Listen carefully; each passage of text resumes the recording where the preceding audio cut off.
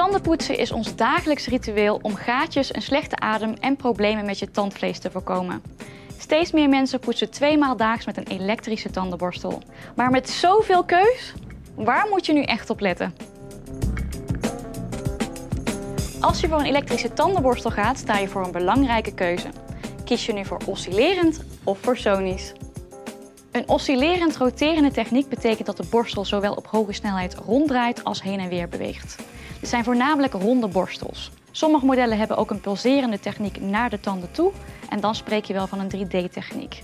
Bij deze tandenborstel worden de tanden één voor één gepoetst en worden tandplak en het vel verwijderd. Met deze tandenborstel hoef je dus geen poetsende beweging te maken. Je tweede optie zijn apparaten met een sonische techniek. Dit zijn ovaalvormige borstels die met hoge snelheid heen en weer bewegen.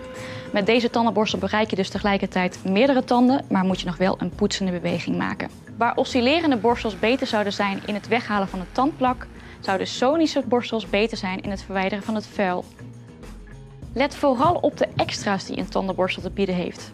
Bijvoorbeeld een timer die aangeeft wanneer je van binnen naar buiten moet gaan of van onder naar boven, of wanneer je klaar bent met poetsen.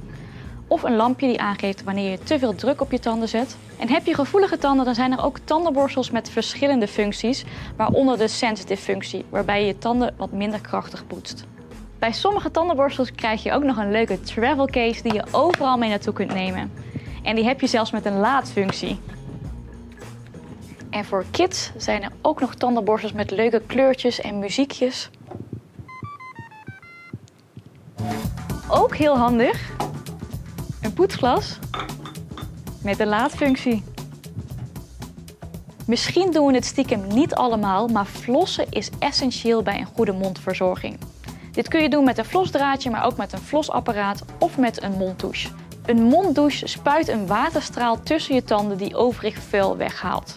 Dit is heel handig voor mensen die een beugel hebben, want dan kan je toch overal bij. Of als je een beugel hebt gehad en nog een spalkje achter je tanden hebt, kun je toch alle kleine plekjes bereiken. Maar let op, poetsen blijft nog wel noodzakelijk. Hoe gek het ook klinkt, tandenpoetsen is een heel persoonlijke ervaring die je helemaal kunt aanpassen aan je eigen wensen.